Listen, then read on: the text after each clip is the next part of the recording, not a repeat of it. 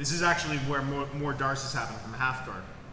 If he locks his, like I said, if he locks up his hands, don't keep trying to hold on to half guard. You actually gotta, half guard is good for him here. I gotta let it go. I free my legs. Well, let's move. Because remember, this is a strangle with an arm in, which means he's choking one side of my neck with his arms, and then the other side is my shoulder driving into my own carotid artery here. So my first task is to be able to uh, keep blood flow going to my brain. So I'm gonna, I'm gonna separate the shoulder from my neck by grabbing my inner thigh all the way down here. So the arm that's in the choke is the one that's activated here.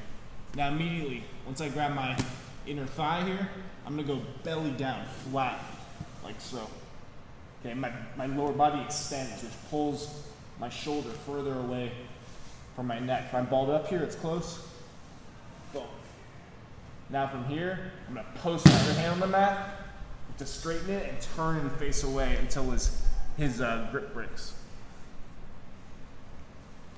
Well, as soon as it breaks here, then I go into my sit out.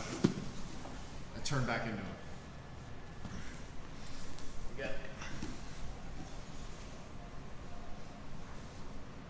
Oh, there's some connection here.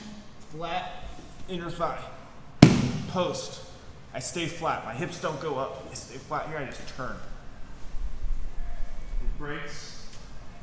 Again. Turn. So you can either have a bicep grip. This works. Yeah, yeah, bicep. Okay, this works against bicep. Um, or you can have a hand, uh, vice grip. Just hands. Okay, so we're using the power of our trunk rotation to break his hand. So I'm here. I'm in the choke. This is bad. When my hand's high, I'm gonna go down low. Escape my elbow underneath my body, go flat. As soon as I feel a break, I don't want to keep turning away because then he can take my back or he can grab a guillotine. So I immediately go into my sit up. I want to reface him, put my feet between me and my opponent's body. Right, Jeff? Mm-hmm. Yep. Yes, you do.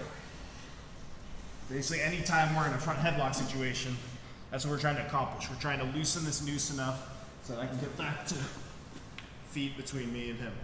These are my dragons that can beat him up. Restrain him. Again.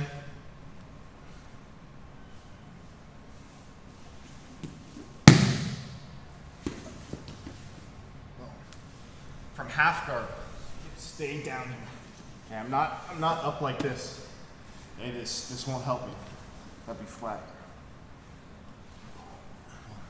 If I go all the way through here, it, it's you could do it, but then you're stuck in bottom side.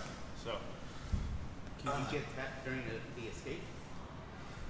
if 'Cause so, Or loosening or breaking his grip at Like- the same time. you're saying if it doesn't break, Yeah, can he still get you while you're reaching for the thigh and turning out?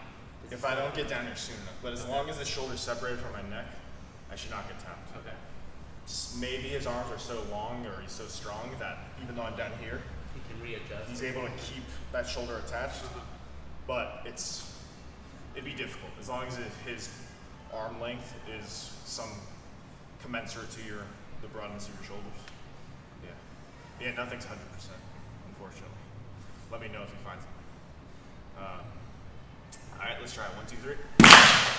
There's a stage where it's too late to do the uh, Jean-Jacques escape. So I've gotten, and basically I know it's too late because he gets his, he gets a bite here, okay? And sometimes it just happens where you're like already across, you didn't even have an underhook, you're like right here, and it's, it's, it's fully locked in. Okay, if I try to go and reset, it's too long of a route, and it's blocked even. Okay, my last route is to once again release half guard, go completely flat, try to swim my arm out to the far side here. Now, once I'm here, now I just have to worry about the north-south choke. Because this arm's out of there, now it's the rear. Now my neck is, is open. So again, one, one more time here. Like I said, this is mainly when you get the underhook. Sometimes they lock up a Darce choke. Actually, rewind. So in this case, sometimes it comes off like a knee cut pass where I'm framing here.